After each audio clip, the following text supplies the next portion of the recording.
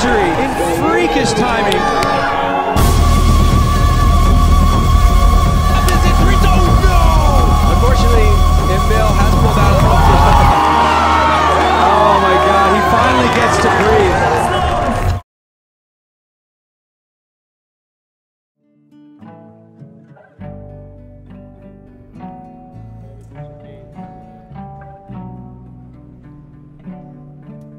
The overall as well as the Triple Crown last season, that was something I wanted to repeat.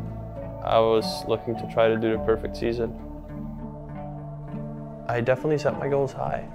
There's a quote that goes, even if you set goals too big to achieve, you will end up way beyond your initial level. It's a lot to take from that.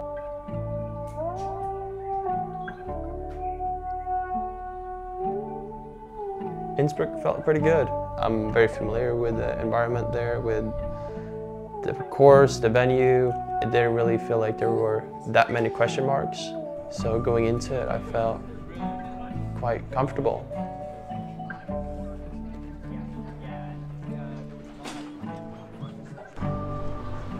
So yeah, first day on course. Uh, it's been uh, about seven or eight months since the last competition I participated in. So it's always a bit of a excitement going into the first day of practice, uh, just to feel how the off season paid off and to see what other people have been working on and just overall to be back. It, it's a great feeling.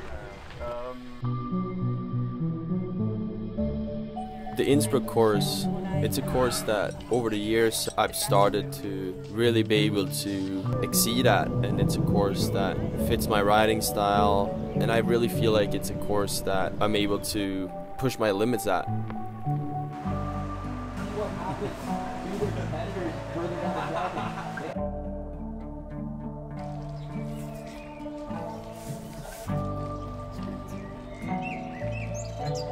Yes! It's time, my friends. So you're just excited as I am because it's Slope Style Day, kicking off the 2022 Crankworx World Tour. And uh, you know what? This is the guy that everybody's talking about right here.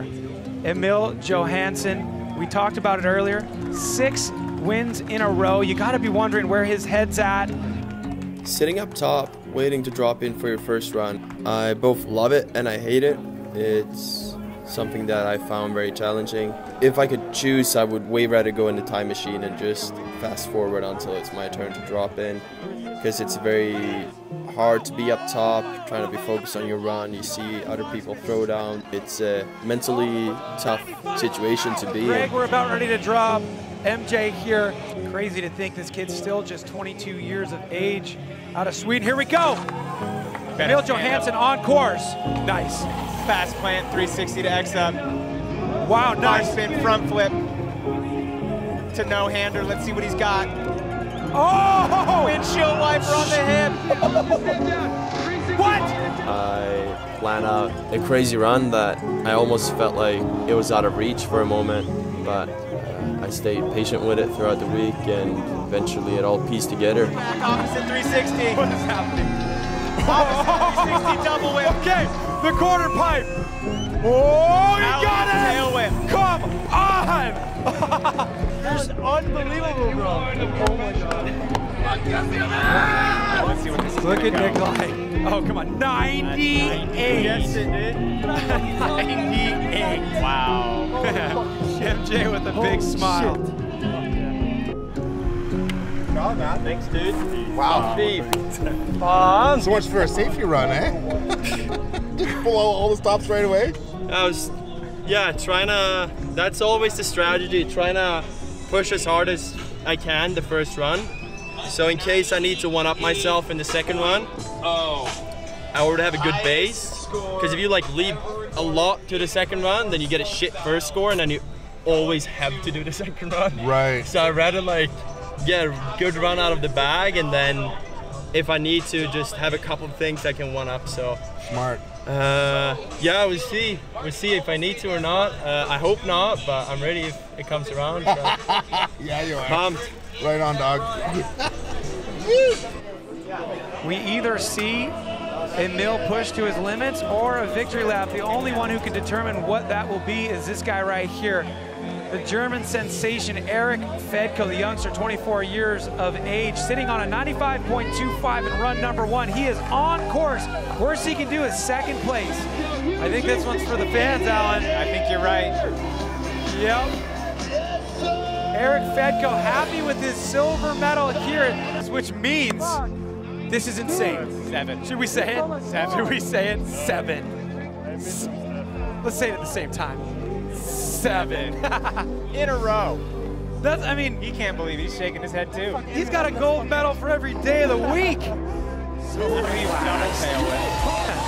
So relaxed. Congratulations, Emil Johansson. The crowd going nuts. Yeah, it, it's incredible. I think you know we're looking at one of the one of the most historical streaks in action sports history. Really, you know, I look back at different different streaks over the years, and names like Dave Mirra and Ryan Nyquist come to mind. So you know, he's definitely putting in the work, and, and it's, it's paying off. You know, nobody can stop him. Pride of Erik second. Seven times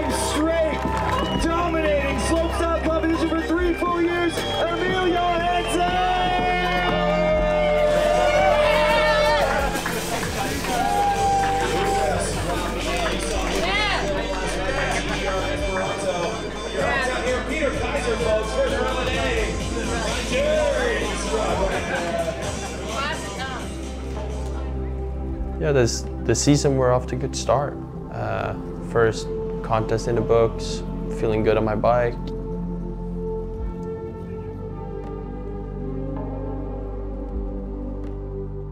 Okay. I was getting ready and training for the next events. I was out on my bike and I had a crash. Åh! Helvete! But at, at the time of, of the crash, I, I was very optimistic. I just saw thought I discolored my finger. I tried to pull it back in. It didn't really want to go back in, and uh, it started swelling a lot. I was very optimistic. I was like, hopefully it's just like, I don't know, a bruise. The x-ray came back and it indicated on what I didn't really want to believe or hear at the time, and that was that the bone to my ring finger were broken. The knuckle had dropped, and in order to get my hand back to normal function, I needed to do surgery. There were no other way around it. I reached out to some people I know in Germany, and I figured it would be a faster process if I fly down there. So what are we doing, Kobe? For surgery.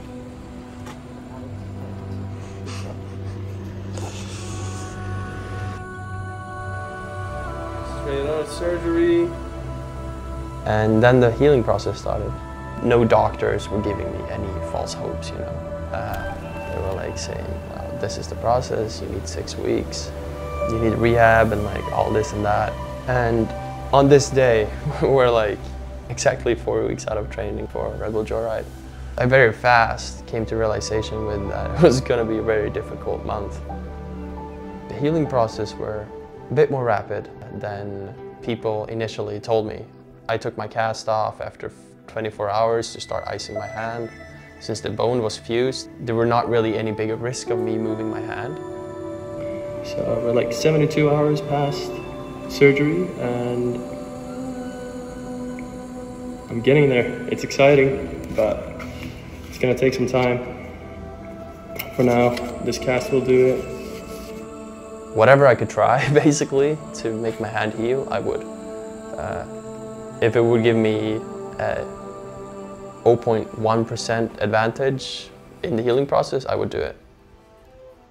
Yeah, it were a tough process trying to get ready for Joyride, to say the least. If I didn't give it a shot, it would kill me. With that in mind, I was like, just trying to figure out a way how to do it. Because it was a challenge, a big challenge. Try to not only make the hand heal, but like also just feel ready for the event once it comes around. And it's not any event, it's the biggest event of the year. I wanted to be there really badly.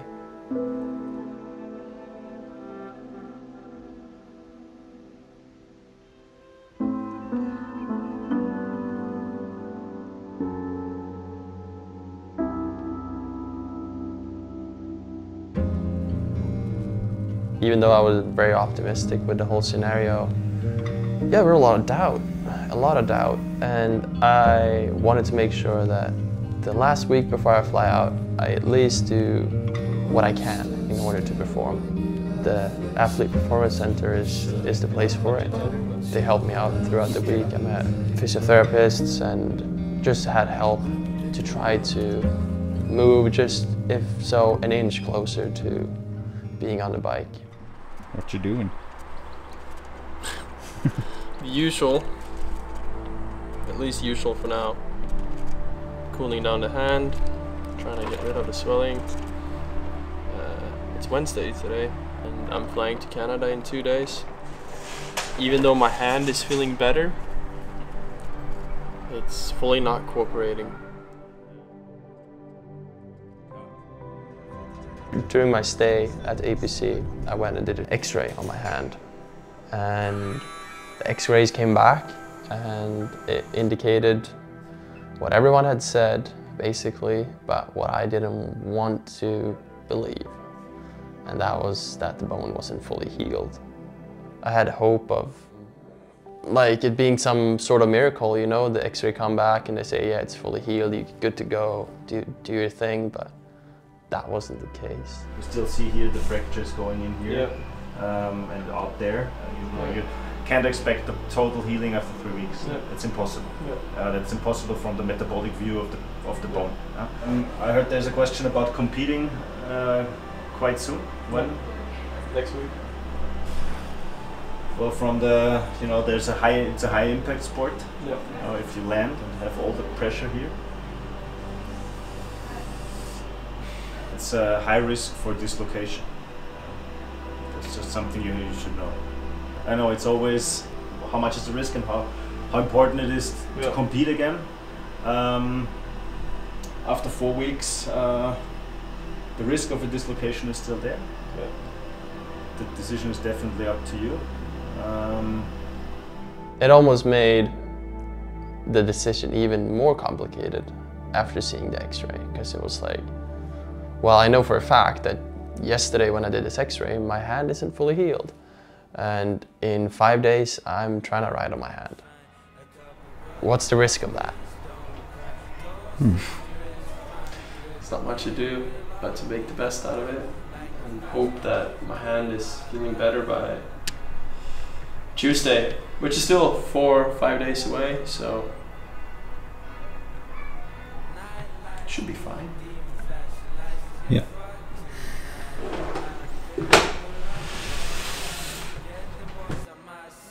Let's face it, if my hand were to re-break, it's not a good scenario. Looking at what it would take to get out of surgery, heal from that surgery, rehab, and do all that stuff again, and this time maybe do it at a more reasonable pace. Instead of just missing on one event, I would miss out on three. Half of the season is just gone.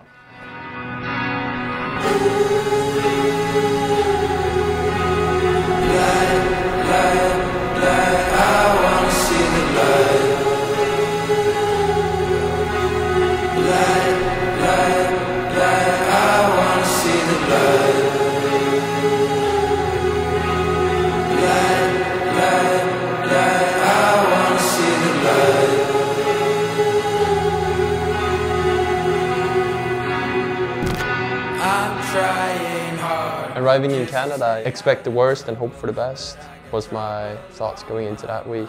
I didn't want to put any dumb expectations on myself. You know what? Ease off a bit. Take it easy. Like, don't get so wrapped up in what you want to do here because it actually might not happen at all. Initially, al already going into the week, I had my goal set on it. If I just touch my bike on the Tuesday and roll around the parking lot, do a couple of bunny hops, I'm stoked. That's a good start. What are you gonna do? First bunny bar in four and a half weeks. Good luck. See how it goes. Ja. Nej, precis.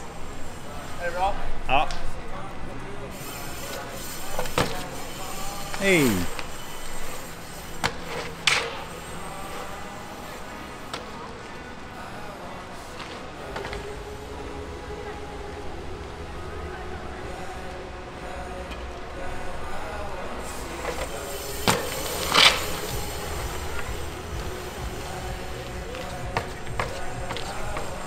How's feel? It's gonna be painful. But I can do some stuff without like. Sweet. I was afraid I would land and then just like.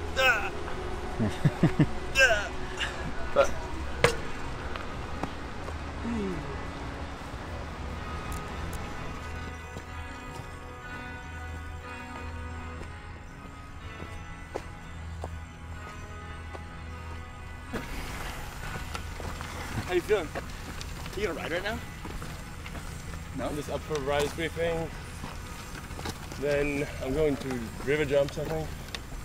Skate park. It's the same size. I bet.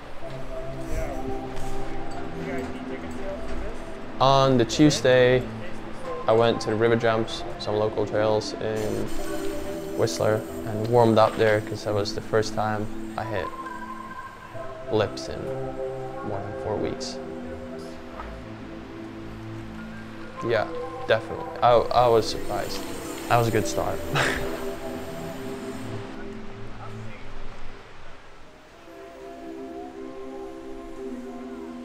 Thank you very much, Ewan.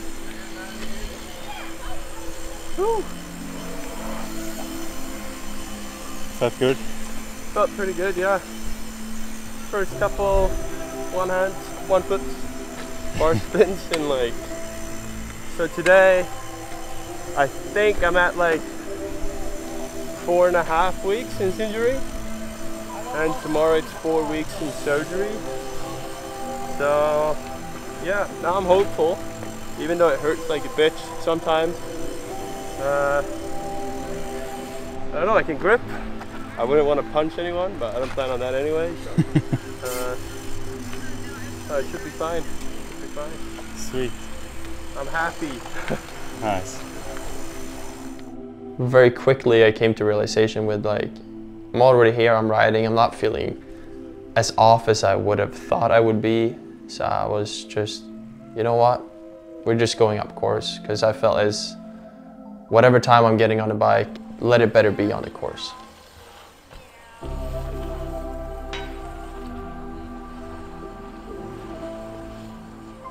To be there and to ride on a Tuesday, yeah, made me very happy. Yeah, then straight back down the hill, iced the hand again, back out for afternoon practice after icing it, and then had afternoon practice, went straight down, iced it again. So I was on a crazy icing schedule that, that week for sure. I was afraid that like the first time I cased a jump or come up short on a jump that I would like fuck the hand up. so I was like, made me very hesitant. As soon as I cased a jump pretty bad and I, my hand was still there and functioning, I was like, you know what, screw it, I'm already here. Every single minute I could get on course was definitely to my benefit, uh, just to feel comfortable.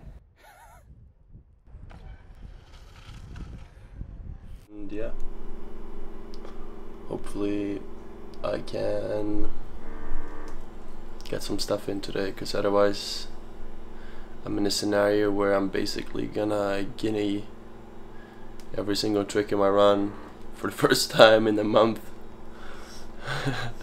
which is not really what I'm looking to do. At least I would have been stoked to just check that I like still feel like it I know to speak correctly and like the rotations and stuff uh, before dropping into a contest run trying to link everything together. Uh, but we will see we will see. Uh, one one thing at a time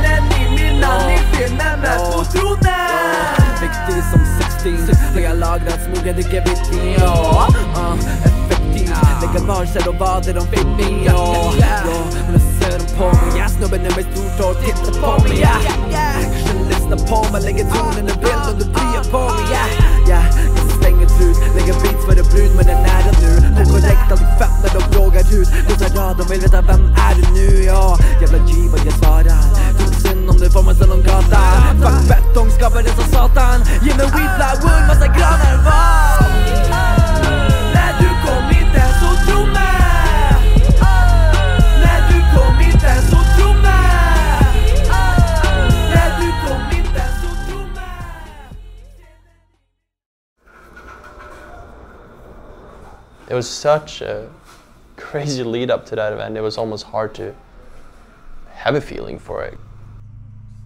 And when the contest started, it felt like just like normal. Like I didn't really, I didn't think about the hand. I didn't, didn't bother me that much. I just tried to go into it as any other contest, really. Yeah, it, it was really cool to be back. get the practice they need so they can put their dream runs down here on our freshly redesigned Red Bull Joyride course. Welcome, slopestyle mountain bike fans. Today is our big day, the granddaddy of them all, the one that started this whole amazing sport of slopestyle mountain biking. I'm talking about Red Bull Joyride. We got the best riders on the planet.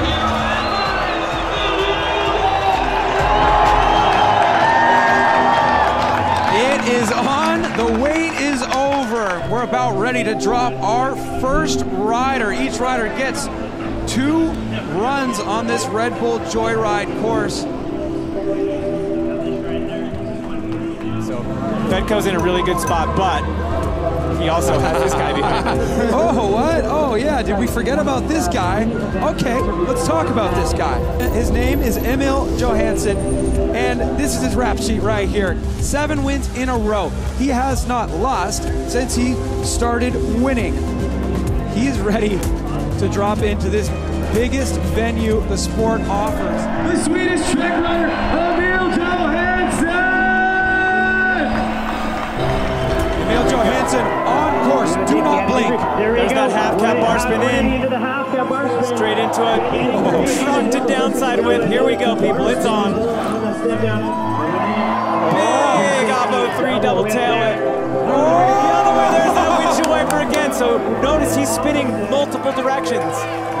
Right to pedal so far in every combo. Oh!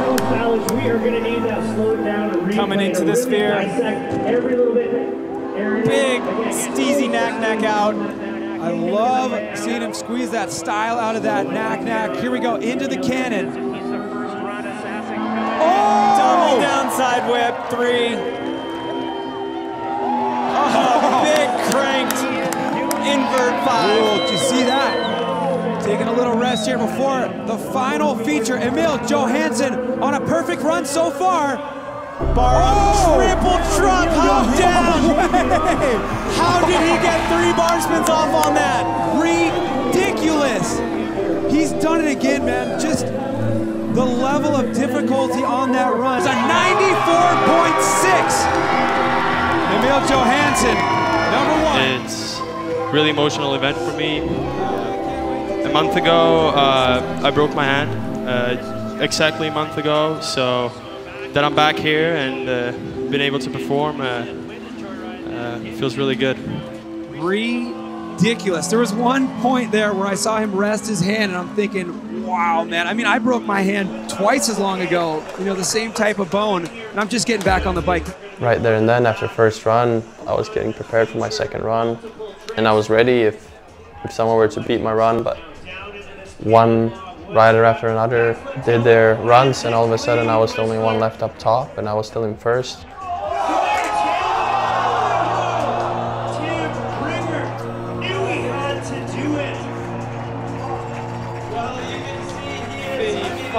it was uh, kind of like a pinch me moment, you know. Increasing the streak to eight. Emil Johansson, ridiculous, doing it again.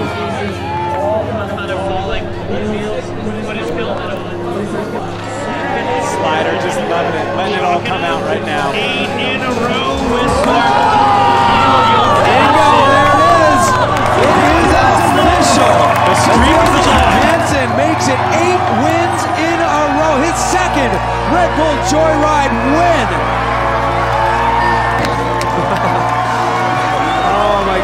Finally gets to breathe. So much work going into not only having the tricks dialed, but rehabbing an injury, coming back in freakish timing. Yeah, Emil's keeping the Triple Crown alive by winning this one. He just, about six days ago, he wasn't sure if he could ride.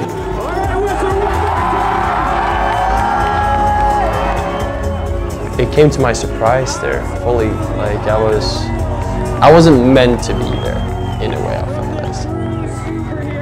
was more of like an out breath. I was like done, like in a way, because it was had been so tense leading up to it.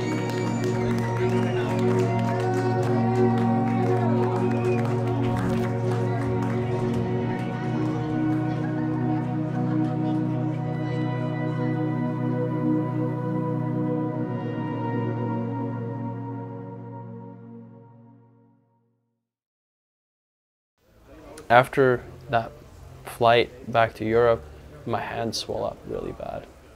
And it was like so achy. It was the first time it's been like really achy. I remember riding and like the cobblestones were shaking and like it would irritate my hand a lot. Yeah, it wasn't it wasn't ideal.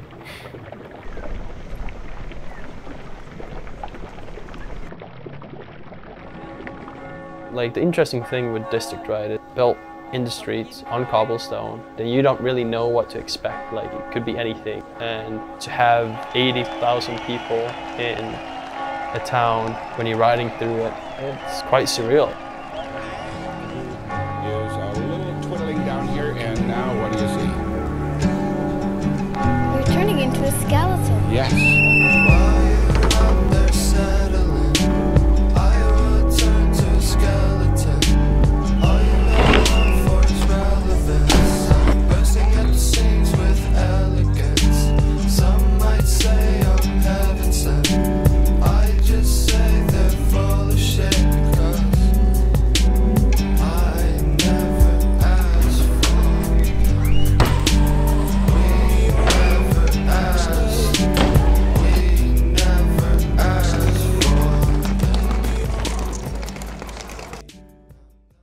I was not planning to do anything at the best trick, but I was riding the jump and I did some three whips. All of a sudden, like I just thought about this trick that I wanted to do for such a long time that I just never like really had a good jump for. I think I told Lukas like, can you film it and I can just see how it looks if it like looks reasonable. And by the time I get back to him and he shows me the clip, he tells me it's possible I was like, I know, like, because just by that like one hit, I like all of a sudden got convinced that it was like, gonna be possible, and that's when I managed to pull it.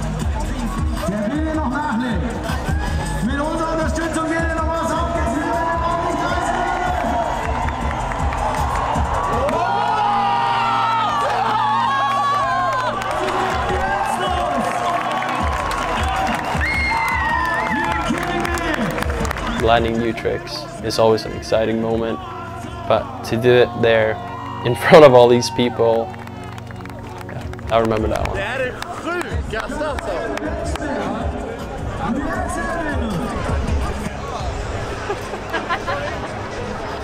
Good job, guys.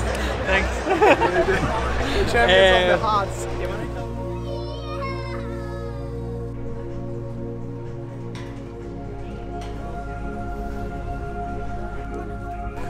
So I've got a couple hour of practice and then contest in the afternoon. Sweet.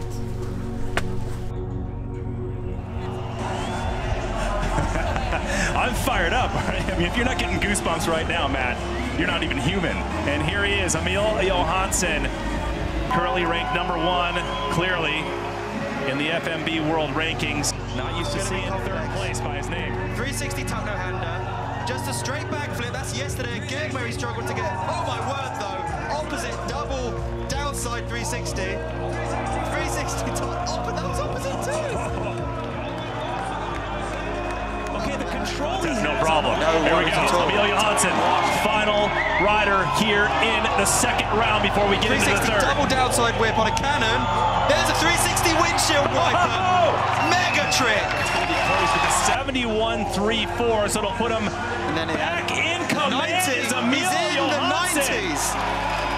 And there's a familiar position, number one and above the 90 mark. Congrats. Thank you very much. Surprised, actually. Uh, it was not an easy one, this one. Like, so little amount of practice, and my hand was bugging me at the beginning of the week. It was swelling up, and I've uh, kind of fooled death mid-run. And uh, it's always a lot of talented riders at all these events, so to take the win is never guaranteed, ever.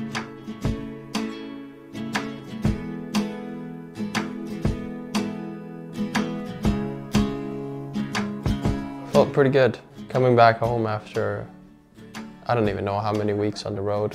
To having somewhat a routine again, it was the first time I was back home and healthy in two months. So I was just stoked to start riding at the local jumps and at all the different riding spots we have and get back into the form I like to be in because I felt like at Joyride and the District Ride and the other stuff I'd just been catching up. So to get home felt pretty good and just get back on it.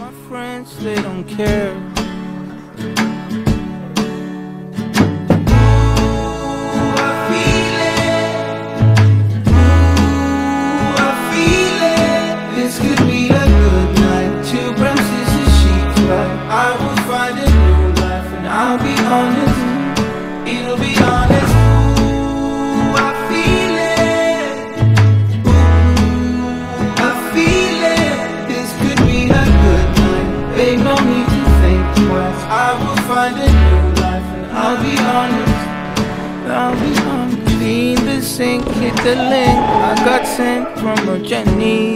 Yeah. No Jenny's no you. No, that's fun. No, that's cute, but she's there.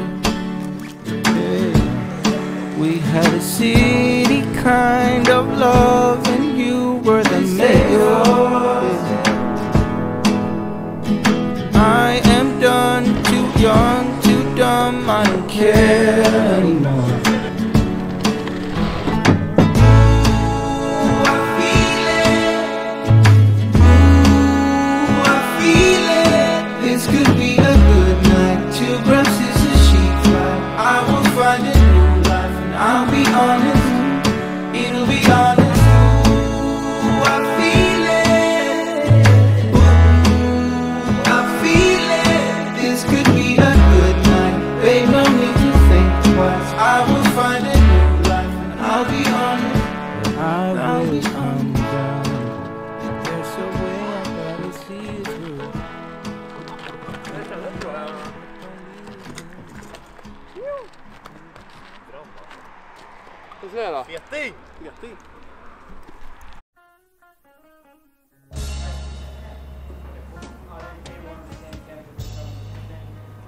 Australia is cool. It was it was rad to be there for the first time. Uh, a lot of excitement uh, with a new course that is fully new. Like everything is different.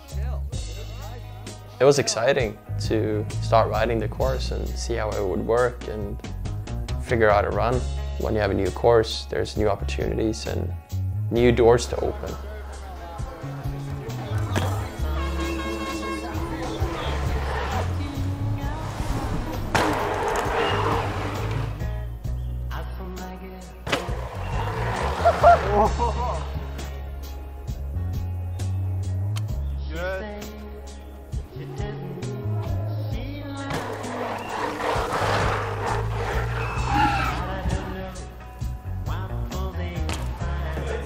Lobster season. Give us a, give us a 360. yeah. Uh, obviously, a very different climate there. Uh, very humid. I've never been sweating that much. Actually, during a week of training, it was it was gross. But I think we're working, man. Look at that. Oh yeah. You, problem though, you got you, you don't need to work to look like that. Yeah. Dude, I went to the restroom. I was Ah. fucking dripping. I leave my t-shirt, everything, everything. I get in, I'm like, Dude, I was like, my arm was like straight up, like you feel the the tear dropping. Marit! Marit! Uh, yeah, the, the week of training went pretty well. I was linking up a run that I was satisfied with, piece by piece. I was trying to figure out some stuff on the course and I was slowly getting more and more ready to do the contest day by day. Is the course clear? Okie dokie.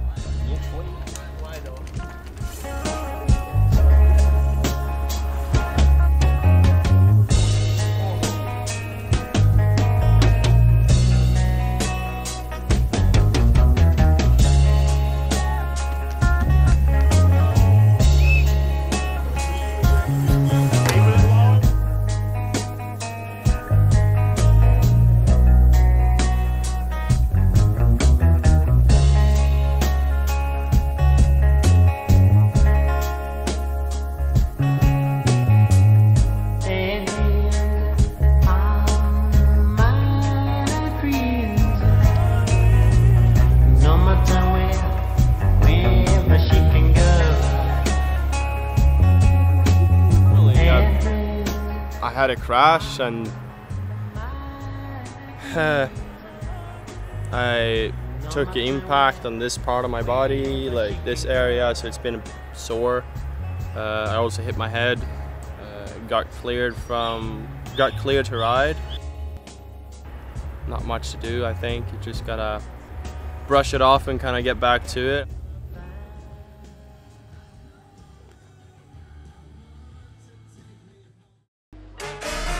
What a day it is. Here we are hanging out. Third stop of the 2022 Crankworx World Tour, a new location. Emil Johansson, flawless for eight events in a row. And that can only mean one thing. That means with this being the third stop of the 2022 season, if he wins today, he will secure the triple crown of slopestyle.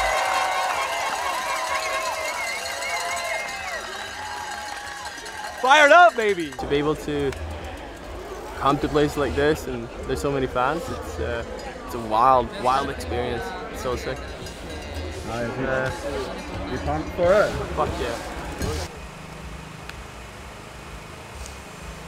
My run went very well until I get to the last jump, basically. Go, and here we go, dropping into the Crankworx Cairns slopestyle course, Emil Johansson.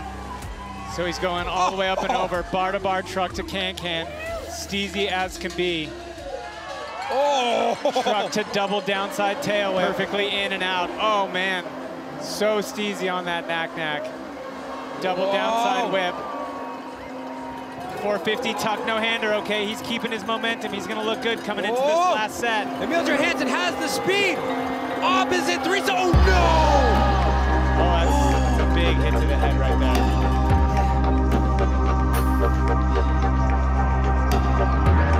Not only did I slip a pedal, I actually slipped both pedals.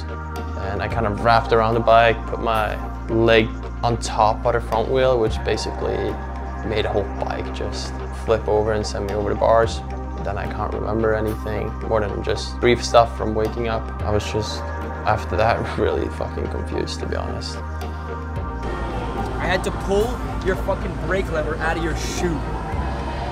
Your brake lever was stuck inside your shoe to the point that I had to pull the tongue of the shoe to get your bike untangled from you.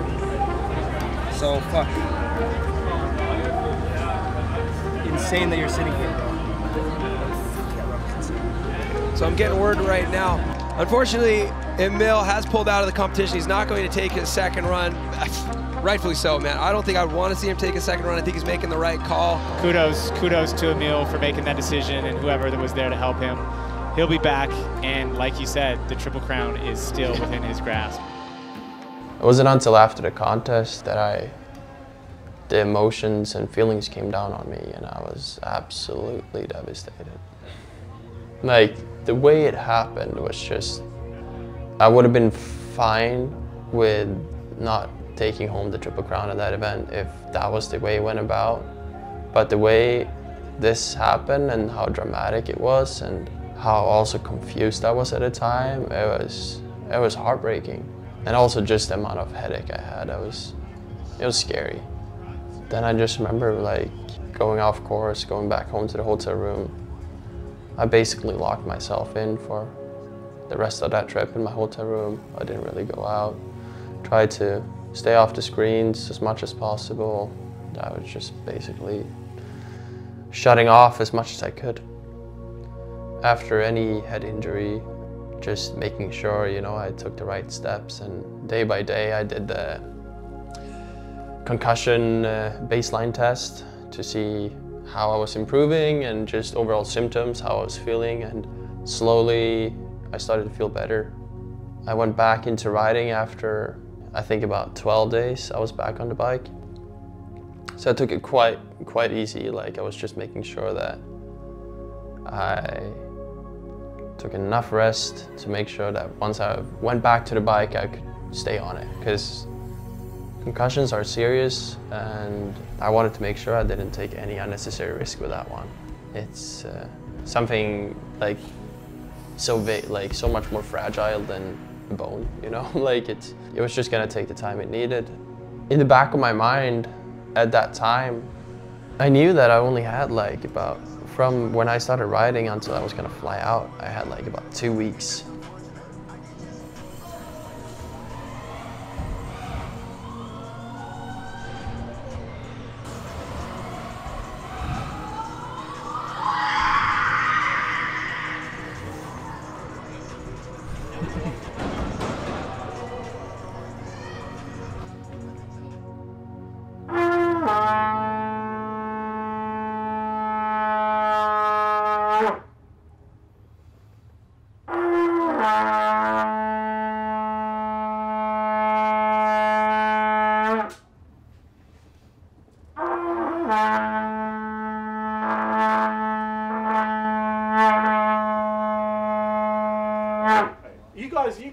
Are mountain bikers. I've, se- I've, se- I've heard you guys shout uh, to each other on TV. So don't fake it now. So,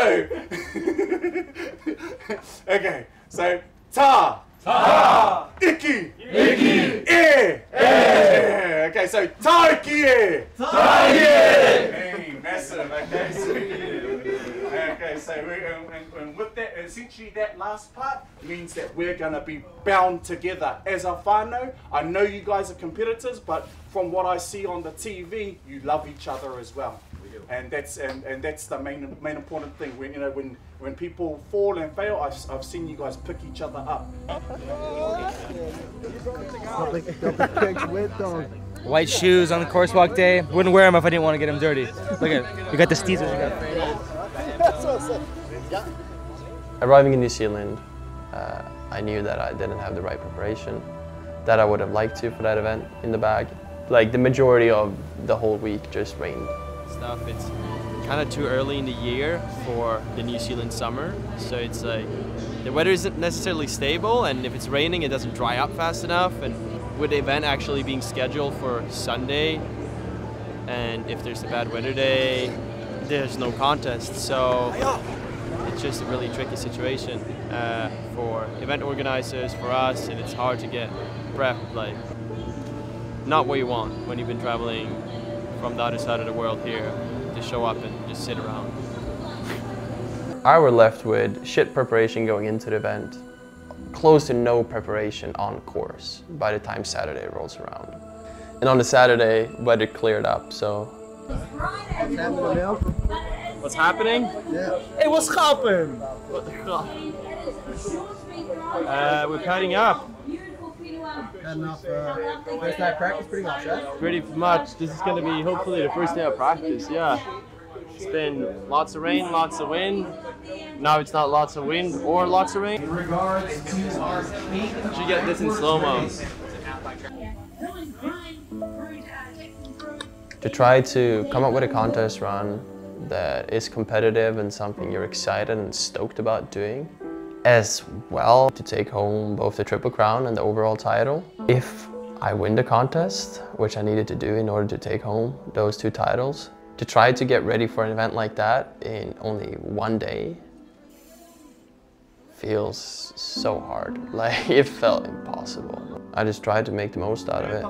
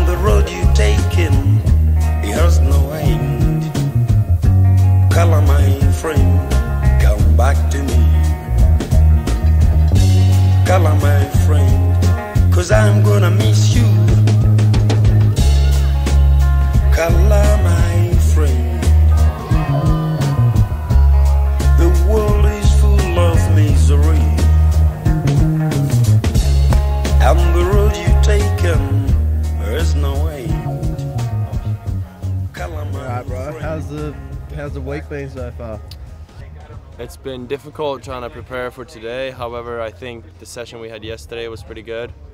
So it's the same for everyone. Everyone just gotta kind of, just kind of gotta roll the dice and uh, put your riding level at a sustainable place. Social media, dude. Let's get this party started. Welcome, slopestyle fans. What a season this 2022 edition has been. Now we are wrapping things up the same way we did last season. Rotorua, New Zealand. Here, the Maxxis slopestyle in memory of McGazza. Thinking back just a short month ago. Sitting up top and you seeing riders drop in, it's like feels very hectic in a way. It's also so calm up there. It's so quiet. Max fucking did a great run. See, he should be. Yeah, dropping him for that run. It was all or nothing basically. It's you against your run.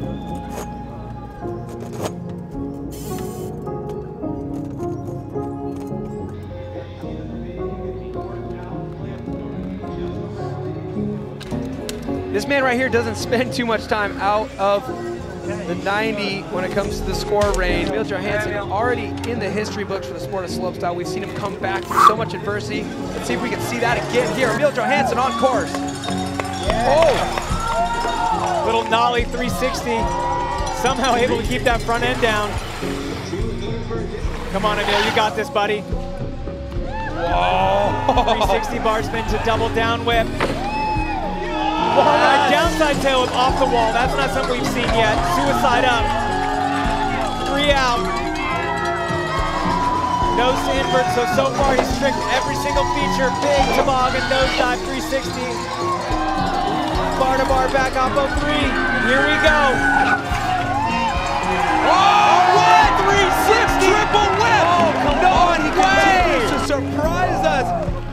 The man who spent the last month rehabbing, where did he find the time to pull a trick that we haven't seen him do in competition? Come on! Score to be 89.5. Tim Bringer. What's it going to be for Emil? 92.75! Right back where he belongs. Emil, the first thing I want to ask you about is that hammer on the final jump. We haven't seen that from you. Uh, that's true. You got a nice little laugh reaction out of the crowd right there. Well, that was quite the show there. The score to beat 92.75. Way to go, Emil Johansson. Now kick back and let's see what Fedko has to offer. Thank you. There we go, Erik Fedko. Something to note here, if he finishes second, he wraps up the Slopestyle World Championship overall based on points. Waiting for the final call basically on how well your score is gonna hold up. Feels like a lifetime sometimes. Pressure. All right, so run two score coming in for Erik Fedko. He needs to beat 89.5 to lock up though. He's not gonna do it, 85.5. Just point out how clean the run for Max Fredriksson was. There we go, the celebration up top. Emil Johansson has secured the Triple Crown for the second year in a row. He's also grabbed his ninth career Crankworx Slopestyle victory. He also secures the Crankworx FMBA Slopestyle World Championship title for 2022.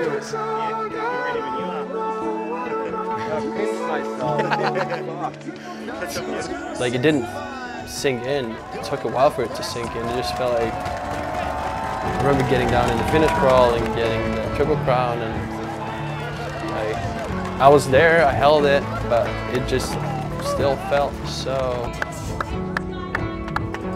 Back, baby!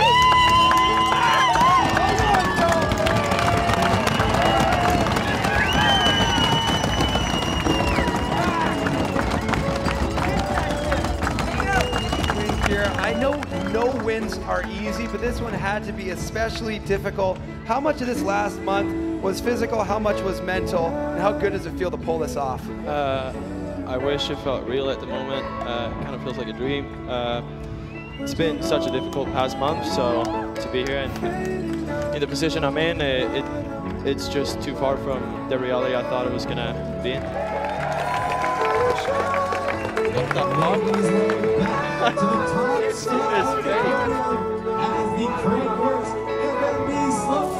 The World champion! Make some noise for Mr. Emil